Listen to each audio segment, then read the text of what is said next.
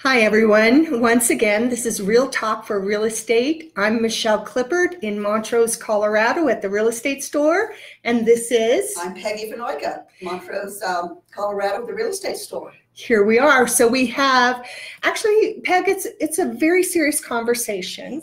And it is because you and I are something different in our education than a lot of people. We are. So um, Peg and I are senior specialists. And that's just one of the tools in our tool bag. Yes. Yes. But there are reasons that we take that additional education and we have some experience behind us for that education. And we just wanted to dive in a little bit of why would you want to use a senior specialist and what makes Peg and I different? Like, Right. how are we different? And you know, it's interesting. I can tell you, as you'll tell me by personal experience, I started out in a situation with um, a relative that was older than me, older than a lot of other others in the family, and did not have the experience, the questions, the answers, the contacts. Muddled through it, knew the real estate part of it. So important to have someone with those conversations. Yes.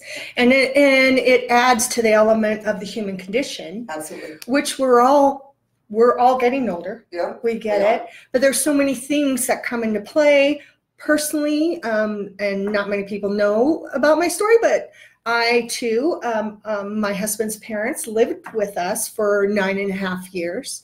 And so I saw personally um, the changes in aging. Yeah. Um, the needs of their space, Right. uh, the needs of our space, and how um, it's not always uh, the prettiest picture. It's not. And the thing that I started grasping is I need more education, which I got my senior specialist in, Right. and it's ways to handle the conversation because, um, Peg, as you know, that um, back in the day, people would live in their homes for like 45 years or something. And they could be on the old homestead or Right. Right. two story or not adapting to change or lifestyle changes or body changes or aging. Right. Right. And they just stuck it out. But our generation is very different now, the boomers. They are. We're making choices to say Yeah. we want to live as long as possible in a certain area. Right. And some of these tools are the important tools that will get us there because that's the changing landscape in real estate. It is. But not only um, some of the folks that have been in their homes for eons, Right. Um, it was almost like a default to them. They didn't know where to go for help, where to go for advice, suggestions. Well, didn't know where to go. Th- You're exactly right because I'm going to give you a, another tidbit about me is that my mother, um, a single mother, uh, living in Gunnison, Colorado, raised five girls. We were all teenagers Scary in once. itself. Scary in itself. But with that, um, she had MS. And so she, you know, for us, uh, going through this transition transition with her, Mhm. and I know what home ownership meant to her. Yeah. And I know, and I saw her get into a home, and I also saw her physically have to leave that home. Right. And what I learned in that time frame is that the conversation was never started about what's the next step. We see this coming Yes, yes. we didn't have the internet. You could say that we were inexperienced or that we Right. were not advised. And the word was really not, not ill advised. No. We didn't have any advice. And uh, my sisters and I waited too long Right. to get a lot of this information because then she had a dementia set in, Right. her physical ability, and we ended up having to uh, ombudsmans and Right. things like that to care for her had we had some advice from some sons of specialists to help us whether it was real estate or not to say here are the avenues to take and here's the start of a conversation And I can say you're absolutely right. I have had over the years, I've had people families come to me and say, we just don't know where to start. Right. We don't know what the first question is. We don't want to make mom mad. We don't want to make dad mad. We know something needs to be done, but we honestly don't have a clue what to do. Right, right. And so some of those things, and guys, it doesn't always turn out pretty. I'm going to tell you right now, both personal experience as well as you can see things in people's futures. But if we can just somehow prepare the conversation. Yes. And not always are they moving, right? Correct. Sometimes the whole idea is the consulting them to say, you need to stay in your mm-hmm. home. You need to make this more user friendly for your age Right. or Right. disability or whatever may match that. But once again, the conversation has to start. And it does. And that's what we have today. Yes. We have some great, successful Yes. Conversation starters. And they really are. Um, I'm going to show you. It's it's a paper that says starting the conversation, and that is exactly what this is.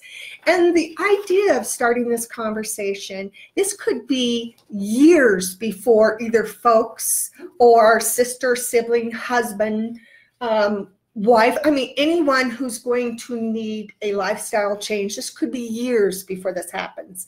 But if we don't start the conversation then we don't know what people's wishes are. That's right. And you know, starting a conversation doesn't mean it needs to end with a decision today. Correct. Correct. Have a conversation. Just visit about it. But how many times have you and I gone into homes and as senior specialists and we'll be with the kids and they will tell us we're afraid to have that conversation. Uh, we want a third party to have that conversation. And sometimes that's completely valid. But what we've put together is a starting the conversation page, and we'll have it on our website. We'll have it on the Facebook page. You can come into the real estate store. I mean, this is stuff that really we all need to know how to ease this in. And what it is, is it's you give it to the person or persons that you foresee may have to have a lifestyle change because of either ageism or Or um, disability. Disability or or- yeah, sickness or surgeries, whatever it is, it's going to fit in that same category because it empowers them to make that next decision. So with these questions, they are checking the box that is most important to them. Right. And you know, just as that person would review it, it's a lot of it is like a lot of the things we run into in real estate. People will say, you know, how many times have you have you heard someone say, "Would you have any questions?" Right. And someone says, "I don't know the questions to ask." Right, correct. That Peg's hit it on the head right there. So this gives you This- a hint. gives a start Start. for those questions and they are marking it. So there is a box, like the first box, Yep. if this was important to them in their current state. Now, Right. no matter where that is, Right. in their current state, the one of the boxes says to remain as independent as possible for as long as possible. Now, is Oh, who would yeah, not who wouldn't check that? Well, I guess if if you wanted more communal living or something like that, maybe that wouldn't be it. But majority of the boomers, I would say, would be checking this box. They'd be checking.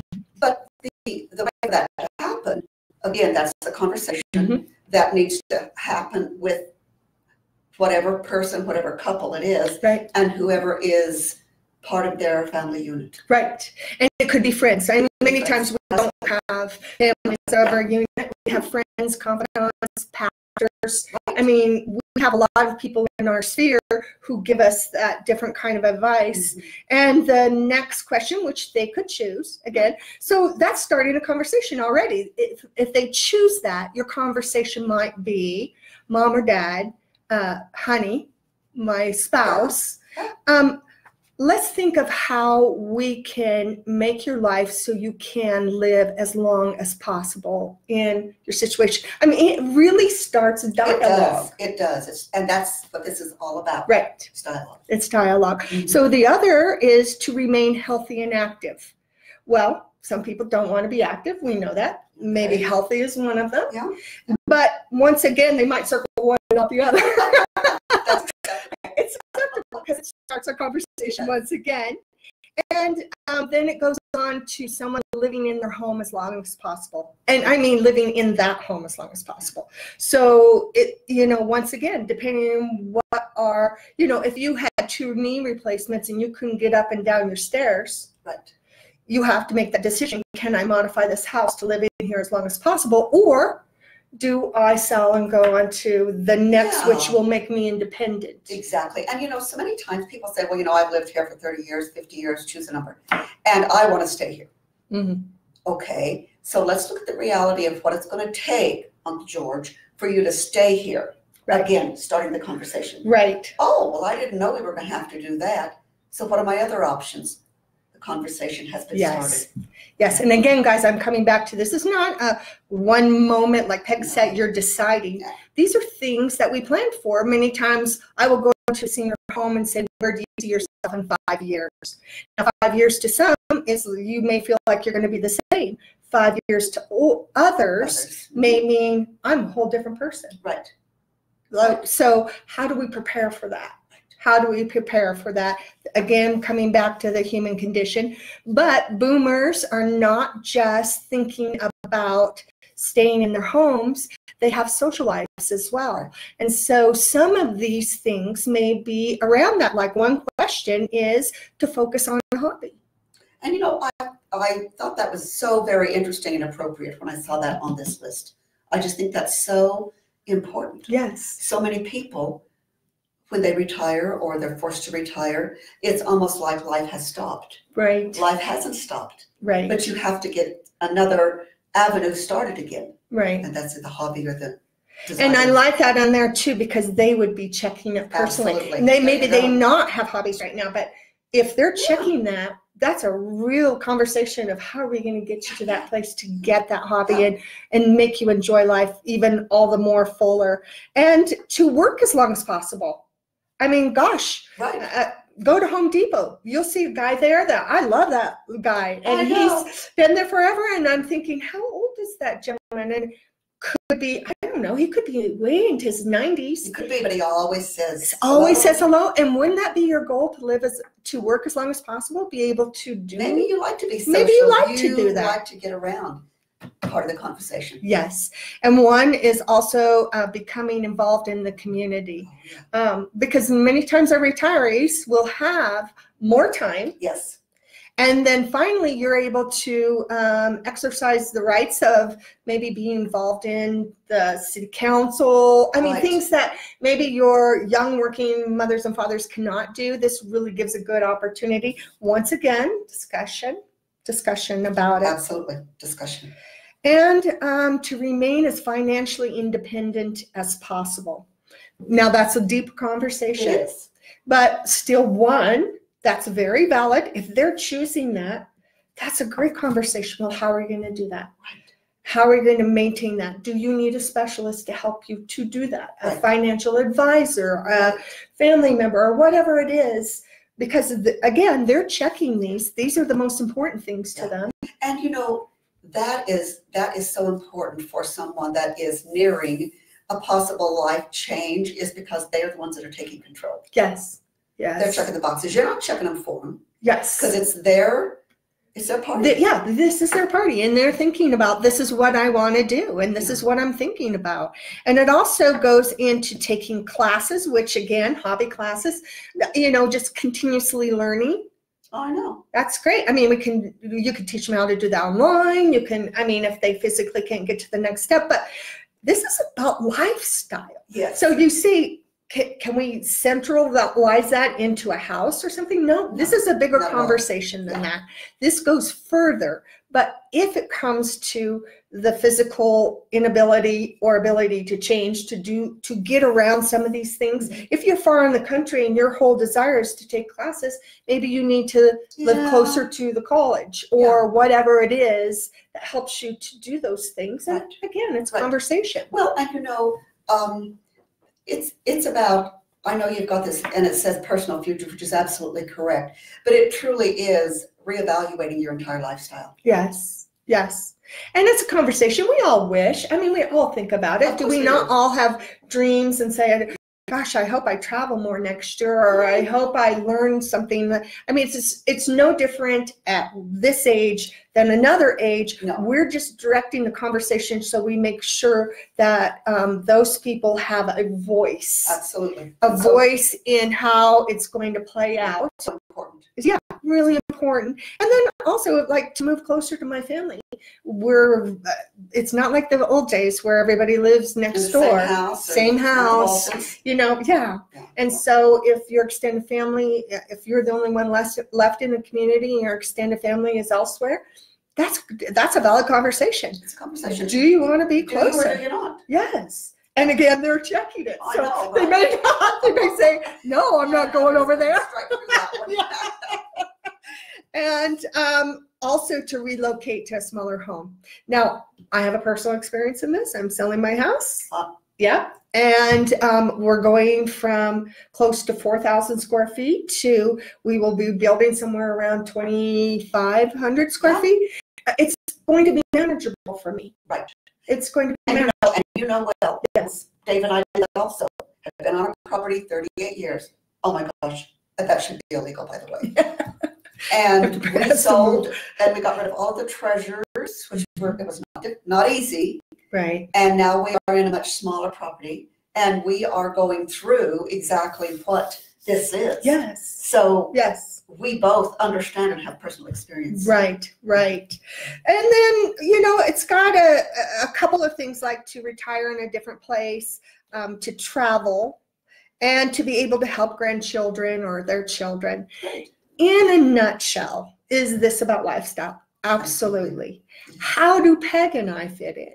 Is because we are that third party that that conversation may end up at. And I much rather have you start the conversation than us be the ones that have to have to start it. start it for them. And will we start it for you? Sure, we'll start for you if you request us to. But if you're like me and you started that conversation way too late, um, there you can't power of attorney when they are all do not have all their senses. No. You can't do the things that you need to do on their behalf when Because- you do because we did not have the conversation. And that's Didn't exactly, start you don't know what that is. You don't didn't know what that is, you know, honestly. So I'm begging you to take this information that Peg and I are talking about. This um, will be on our uh, both our website and our Facebook page. But if you really need to break ice somehow, please tag someone you know. Put this in their message box. Make it personal and say, "Can we have this conversation?" Right. Can we do this? And I assure you that you will be further off ahead than anybody. Oh, yes. And this, in a nutshell, this human condition is why Peg and I chose to put one more thing in our toolbox, which is being a senior specialist in real estate, because we know seniors need different care. And we want to thank you for being a part of this, but we have a couple of announcements to make too. Is um, you have one? I do have one, if you don't mind. Yes. Um, last week at our Real Talk for Real Estate, um, we had a, a, a really nice gentleman here from the, um, city of Montrose. And he and we talked about the hazardous waste, that, um, uh, collection event that is gonna be going on. I wanna re, re, um, report it again and remind everyone it's September seventh.